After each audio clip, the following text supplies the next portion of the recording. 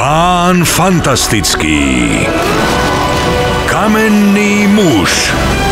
Ľudská fakľa. A neviditeľná kočka.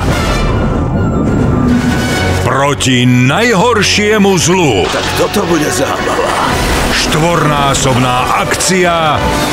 Štvornásobné dobrodružstvo. Vo famóznom kine Plus.